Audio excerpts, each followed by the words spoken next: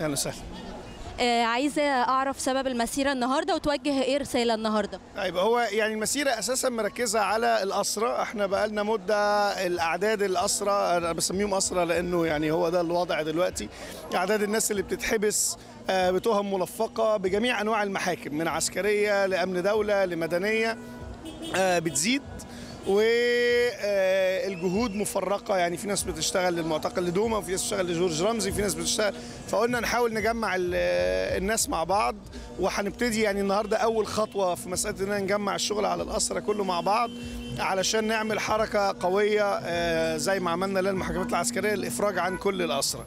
آه النهارده 9 مارس ذكرى آه فض اعتصام التحرير الثاني اللي اسقط آه شفيق واللي تبعوا على طول آه، اعتقال الشباب ونقلهم للمتحف المصري وتعذيبهم هناك آه، تعذيب مبرح ثم نقلهم للسجن الحربي وهناك تم إجراء ما يسمى بالكشوف العذرية واستمرار ال- التعذيب.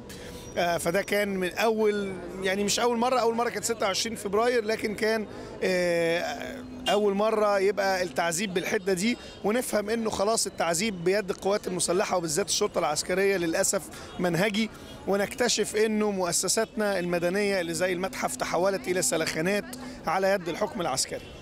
فإحنا بنحيي الذكرى دي النهارده في نفس اليوم اللي بنطالب فيه بالإفراج عن كل الاسرى آه، إيه رأيك في خط سير قضية سميرة إبراهيم؟ آه، يعني طبعا ال- القضية بتنظر أمام القضاء العسكري. آه، فبالتالي القوات المسلحة هي هي الخصم والحكم في نفس الوقت وده ما ينفعش. فما إحناش حاطين أمل كبير من من الناحية القانونية. آه، أنا رأيي إنه ما دام في مدني في القضية مجني عليه أو أو متهم المفروض تبقى القضية أمام القضاء ال- آه، المدني الجنائي الطبيعي علشان يبقى في حيادية. وإن كان حتى القضاء المدني الطبيعي يعني إحنا مش واثقين فيه قوي بدليل البراءات اللي عمالة تطلع لقتلة الثوار. لكن بغض النظر عن ده القضية هي قضية سياسية هي قضية لفتحهم وهي قضية إنه المجتمع كله يواجه حقيقة إيه اللي بيحصل في البلد وإزاي إنه التعذيب لسه مستمر ويبتدي كمان يتعامل بشجاعة. مسألة استخدام انتهاك ال- الأجساد وبالذات أجساد النساء دي مسألة كانت منهجية وكانت بتمارس وكان بيمارسها نظام مبارك آه، مع المعارضين وخصوصا الإسلاميين ومع ذلك ما بيتكلموش.